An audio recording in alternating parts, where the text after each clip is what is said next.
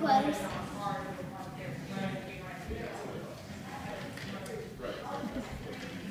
Backwards, backwards. Going back. Where is Hazel going? She's going on a little ride.